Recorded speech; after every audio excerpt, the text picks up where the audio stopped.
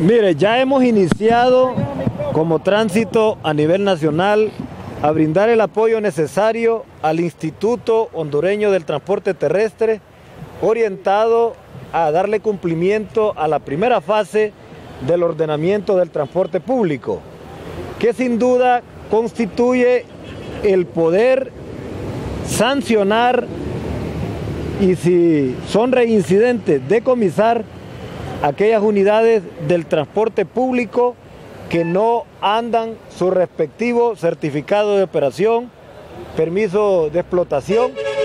ni nunca han tenido eh, estos permisos. ¿Por qué? Hay muchos que a último momento han tratado de aprovecharse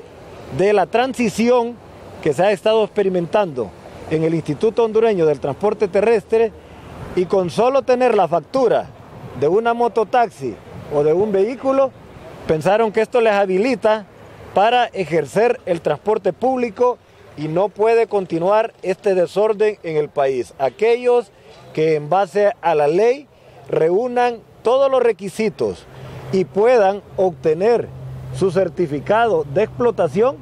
tienen todo su derecho para andar ejerciendo este servicio. Caso contrario, nosotros a nivel nacional vamos a actuar a efecto de comenzar la primera etapa del ordenamiento del transporte público. Mire, la ley establece que la primera vez hay una sanción de un cuarto de salario mínimo, la segunda vez que sean reincidentes, medio salario mínimo, y la tercera vez un salario mínimo completo, pero además la ley dice que se podrá decomisar estas unidades,